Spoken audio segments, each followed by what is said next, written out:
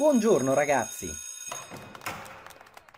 Oggi raccontiamo la storia degli Etruschi, i quali diedero vita nell'Italia del primo millennio a.C.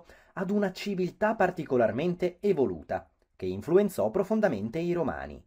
Gli Etruschi occuparono un territorio, l'Etruria, che si estendeva dall'attuale Toscana all'Alto Lazio, comprendendo in seguito parte dell'Emilia e la bassa Lombardia.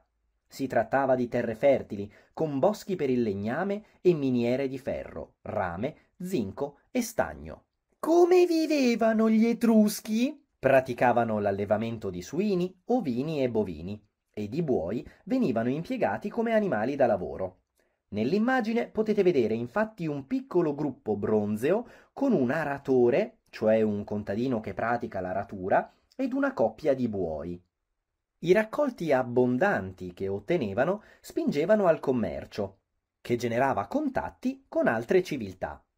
I contatti con la civiltà greca portarono molti benefici all'agricoltura, come la tecnica della rotazione delle colture, che consiste nel far variare il tipo di prodotto agricolo coltivato nello stesso appezzamento per renderlo più produttivo.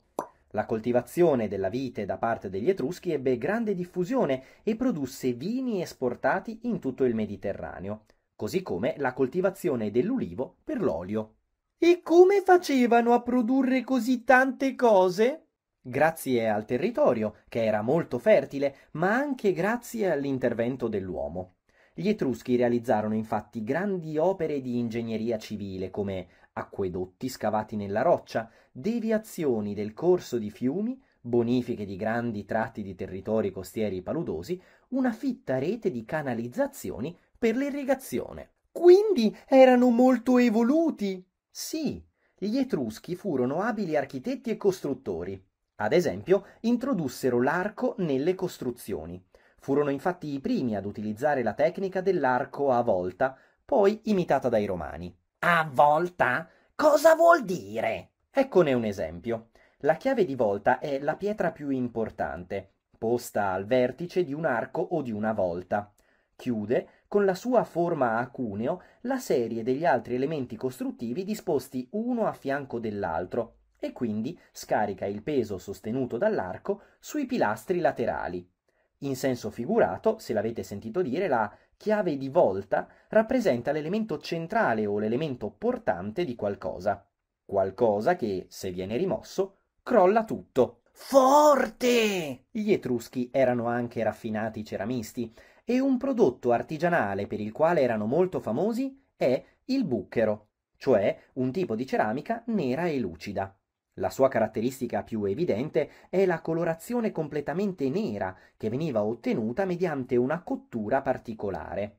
Gli Etruschi usavano molti recipienti e suppellettili di questa fattura. Le occasioni non mancavano. Il banchetto, ad esempio, era al centro della loro vita quotidiana. Il convivio aristocratico, allestito due volte al giorno, era il luogo dove coltivare le relazioni e gli affetti, risolvere i conflitti politici e celebrare matrimoni. Con cibo e vino si onoravano i morti e si consacravano i templi. E i bambini come noi cosa facevano? L'infanzia nella civiltà etrusca non durava molto. I bambini all'età di sette anni erano già considerati abbastanza grandi per contribuire ai lavori dei campi o delle botteghe di famiglia. Ma questo non significa che non potessero concedersi anche momenti di spensieratezza e di gioco. I maschietti giocavano con trottole, yo-yo o con le noci, cioè con tutti quei giochi che la fantasia rende magici, anche se composti da semplici bastoni, spaghi e materiali di recupero. Nell'immagine potete vedere una trottola di epoca etrusca in ceramica. Pensate, era dotata all'interno di piccoli sassi, tali da generare dei suoni durante la rotazione. Le bambine giocavano con la loro bambola di terracotta fino alla pubertà, quando la regalavano al tempio per sancire il passaggio all'età dei grandi e prepararsi al futuro matrimonio.